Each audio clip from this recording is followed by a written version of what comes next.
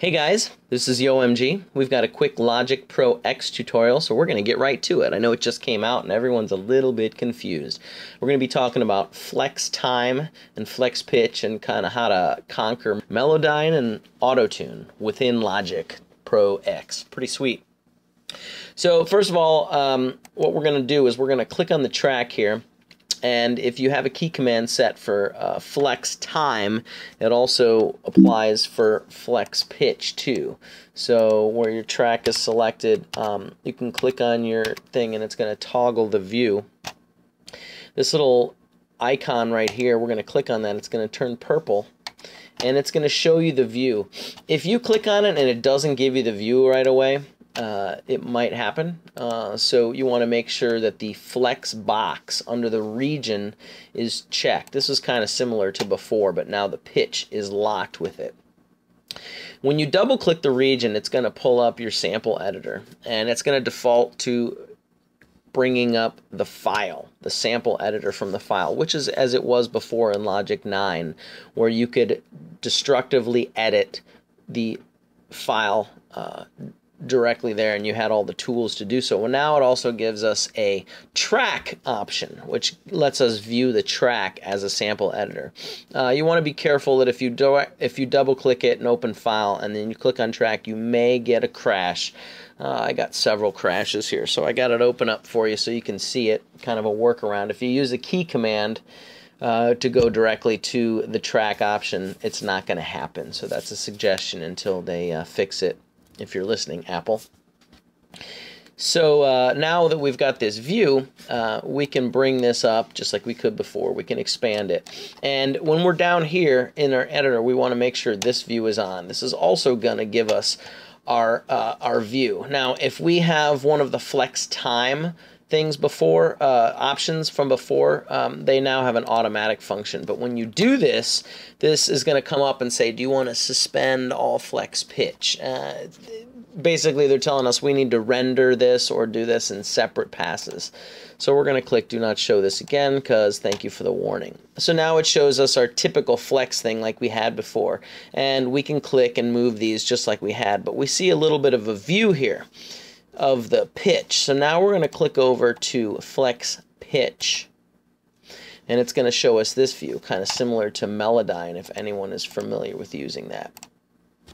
We're going to solo this track and it's going to play as Keep is. waiting for the world to end. Uh, I've been kind of messing with the pitch here.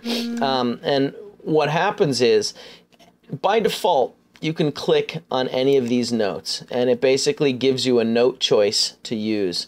Uh, you can click on this note and you can expand it with the bracket bar this way just like expanding your time like the flex time. Uh, if we zoom in a little bit within the pitch we also get three dots. Um, if we go to the pitch fine tune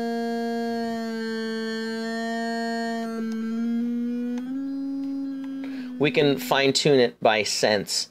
Uh, if we go to the last box, we get pitch drift, which basically shows the pitch as it dri drifts to the end, and you can kind of go crazy with that. And then there's pitch drift in the beginning, and that's also draggable, and that's the entrance pitch. And then, if of course, if you drag the whole thing, it'll move to different semitones. Uh, so you can move it to wherever you want. You can also still extend it and move, and it's going to grab uh, whatever you have selected. The other thing that's really cool is if you want to use, like, let's say the generic auto tune or tuning kind of function, what you're going to do is you're going to zoom out and you're going to select an entire passage or really whatever you want. So we're going to use the selection tool and we're going to grab all of these pieces right here.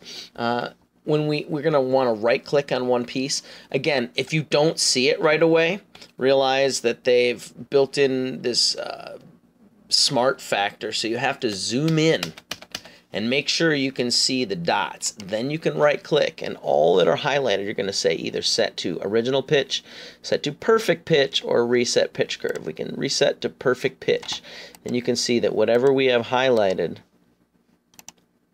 it will reset that to our perfect pitch. Uh, of course, we can go through here and we can select all of the notes at one time if we want. So once they turn this yellow color, we got the notes. You can also use the shift or the Apple key um, to click on additional notes.